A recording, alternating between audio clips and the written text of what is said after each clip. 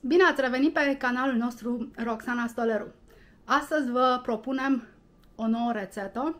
Este o rețetă după uh, Chef Haddad, uh, pe care a făcut-o prima oară Seba pentru un proiect la cursul de nutriție și pe care am adaptat-o și noi destul de des, mai ales în uh, lunile de vară. Haideți să vă arăt ce am pregătit deja. Rețeta este de fapt o salată de legume. Uh, vedeta sunt uh, aceste inimi de anghinare, cœur d'artichaut or uh, artichoke heart, pe care noi le cumpărăm gata conservate, gătite. Puteți să le faceți și voi dacă le găsiți proaspete.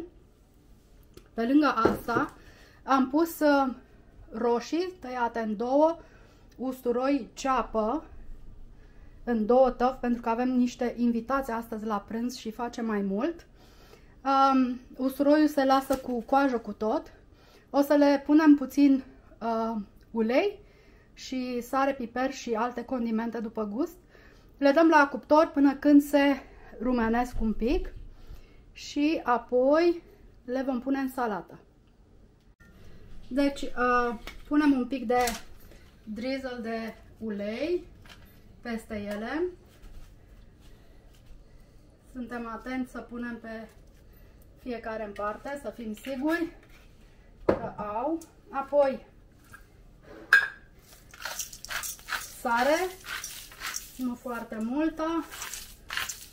Putem să mai adăugăm după gust la sfârșit, dacă avem nevoie. Piper, la fel, după cum vă place și vouă. Și mie îmi plac aceste ierburi aromate și cu uh, citrice. Și o să pun puțin deasupra. Au deja un amestec care este foarte bun. Și acum le voi da la cuptor. O să pun cuptorul la 375 de grade Fahrenheit.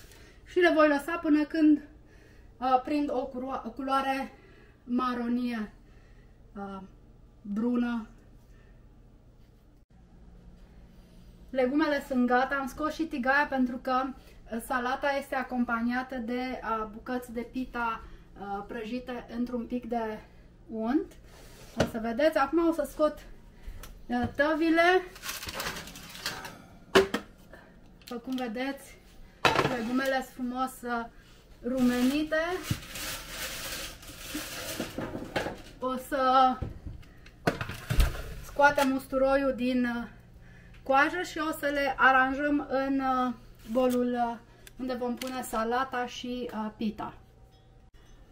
Am pus legumele într-un bol, am scos usturoiul copt din coajă și am adăugat anghinarea din borcan.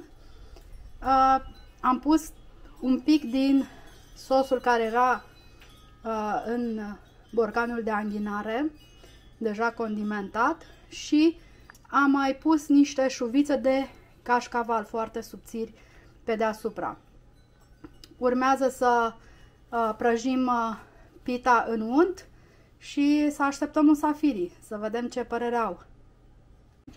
Mâncarea este gata, am făcut și uh, lipiile prăjite în unt și uh, acum se așează la masă cei care vor degusta.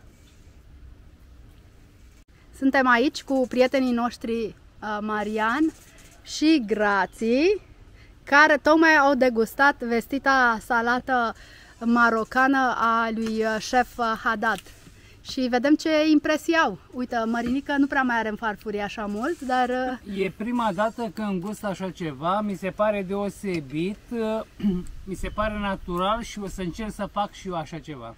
Super! Grații!